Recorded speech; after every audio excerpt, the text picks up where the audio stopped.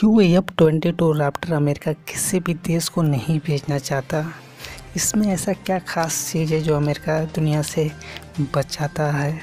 आज इसी के बारे में जानेंगे दोस्तों। आइए जानते हैं F twenty two raptor F twenty two raptor की खूबियाँ। Lockheed Martin F twenty two raptor एक fifth generation single seat twin engine all weather stealth tactical fighter aircraft है। इसकी मैक्सिमम स्पीड है मैक 2.25 लगभग चौबीस किलोमीटर पर आर। यह air to air mission और एयर टू ग्राउंड मिशन में महारत हासिल करने वाला फिफ्थ जनरेशन का एयर क्राफ्ट है दोस्तों। अमेरिका को इस खास प्लेन पे इतना नाच है कि उसने इस प्लेन के लिए खास लॉ बनाकर इस का प्रोडक्शन रुकवा दिया। और शायद अमेरिका ये भी चाहता था कि इस तरह की टॉप क्लास टेक्नोलॉजी किसी और देश के हाथ न लगे। जैसे चाइना, रसिया। अगर इन सभी के हाथ में लगता है तो डेफिनेटली उसके लिए थोड़ा खतरा पैदा हो सकता था। जबकि रसिया के पास ऑलमोस्ट फिफ्थ जनरेशन का एस यू थर्टी सेवन है। और चाइना भी अपना जे ट्वेंटी के पीछे लगा हुआ है, लेकिन अब तक उसने फिफ्थ जनरेशन का स्टेल्थ एयरक्राफ्ट नहीं बना पाया है।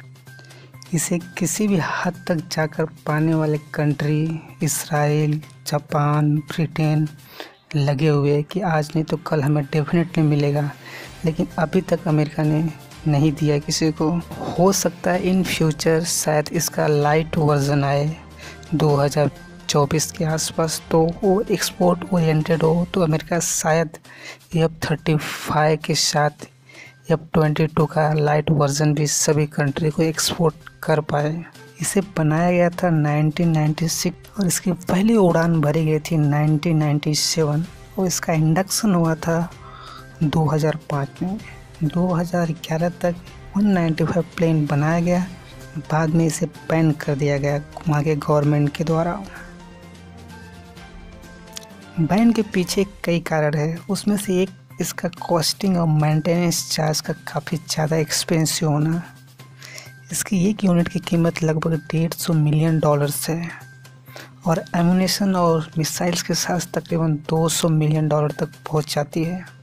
इसकी लेंथ की बात की जाए तो बासठ फीट एक इंच है। हाइट की बात की जाए तो 16 फीट आठ इंच है। इसके पंखे की बात की जाए तो 840 स्क्वायर फीट है। एक एफ़ ट्वेंटी टू राप्टर का वज़न उन्नीस हज़ार छः सौ साठ किलो है और फ्यूल के साथ ये वज़न बढ़कर उनतीस हज़ार चार सौ ग्यारह के हो जाता है। और रही बात इंडिया की तो इंडिया को भी ज़रूरत है फिफ्थ जनरेशन का स्टेल्थ एयरक्राफ्ट बट फ़िलहाल अगर हमारे कॉस्टिंग में नहीं पड़ता है तो हमें अभी लेने की ज़रूरत भी नहीं है।